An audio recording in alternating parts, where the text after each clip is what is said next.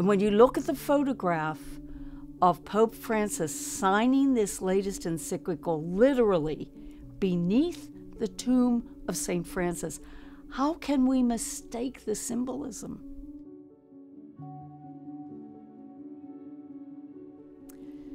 I hope that Pope Francis impacts every Franciscan living on the planet right now, from the tips of our toes to the crown of our heads.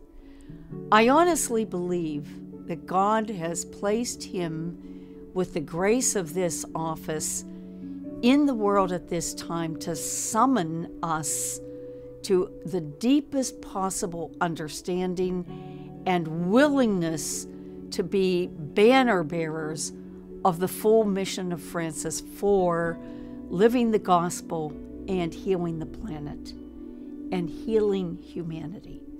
These are the messages the joy of the gospel, Laudato Si, Fratelli Tutti, everything that Pope Francis has committed to as his principal messages to the world are a reflection of the teaching of Francis of Assisi.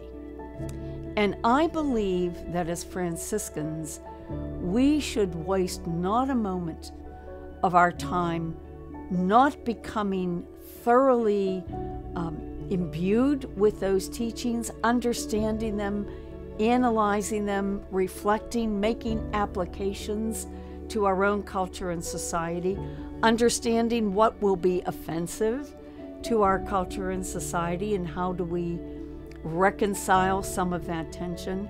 But I really believe that Pope Francis is, in a sense, handing us a charter for what Brian McLaren calls a Franciscan Renaissance.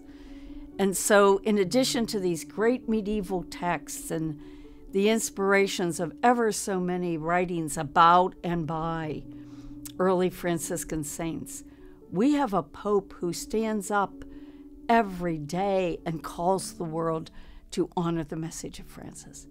And when you look at the photograph of Pope Francis signing this latest encyclical literally beneath the tomb of St. Francis, how can we mistake the symbolism?